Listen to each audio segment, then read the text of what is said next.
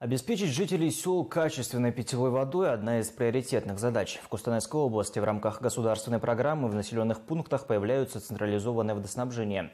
Питьевую воду проводят в каждый дом. На днях водопровод запустили в Новонежинском сельском округе Ауликольского района. А событие, которое для сельчан стало поистине историческим, расскажут мои коллеги.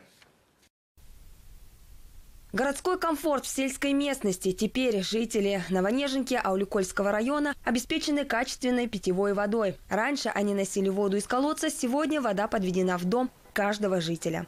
Всего в сельском округе более 50 домов. Из них к централизованному водоснабжению подключены около 300. Мы уже в течение трех месяцев получаем воду чистую, стабильную.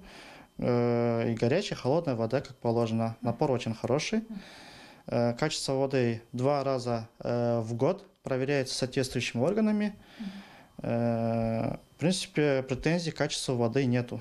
На строительство данного объекта было потрачено 800 миллионов тенге. По словам Акима сельского округа, работа выполнена качественно и в сроки. Насосную станцию сдали в эксплуатацию в конце ноября сумен қамтып отыр күніне қырық жеті куб елу куб су кетеді расход воды в день составляет около 50 кубов все социальные объекты такие как школа детский сад и больница обеспечены питьевой водой было еще подано 48 заявок к их участкам водораспределительные сети подведены весной подключим пока погодные условия не позволяют провести данные работы Насосная станция второго подъема работает в штатном режиме. Сюда поступает вода с первого подъема. Она наполняет сразу два резервуара по 250 кубов. Насосы откачивают воду уже в водонапорную башню, после в распределительные сети. Весь этот сложный процесс автоматизирован. Тем не менее, на станции круглосуточно ведут дежурство два сотрудника, которые следят за исправностью приборов.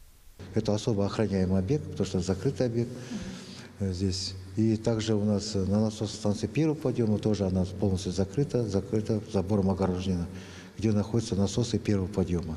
Здесь, как я раньше отметил, насосы, насосная станция второго подъема, откуда подается в населенный пункт вода. Здесь дебет каждого насоса 172,8 кубов в час дает каждый насос. Там у нас получается три насоса стоят на скважине.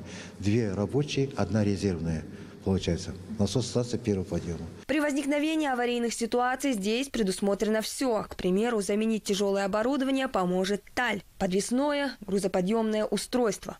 Таль, который можно менять насос, это включаем этот таль. Э, если насос надо заменить, если какая-то поломка, что-то насос можно снять, заменить. Ну, насос же тяжелый, и поэтому человек может талькой приподнять насос. В ручном режиме работает насос. Это, ну, это можно проверить да, через кнопку, и человек может поменять насос. Здесь достаточно двух человек, чтобы поменять насос в случае поломки, в случае аварии. Работа по обеспечению жителей сел централизированным водоснабжением будет продолжена. Соответствующее финансирование выделят из областного и местного бюджета. К тому же развивать районные центры и села помогает государственная программа АОЛ ЕЛьБСГ, целью которой является улучшение качества жизни сельчан за счет модернизации инфраструктуры. Айдана Папанина, Олжас Есенджигитов, телеканал Костанай.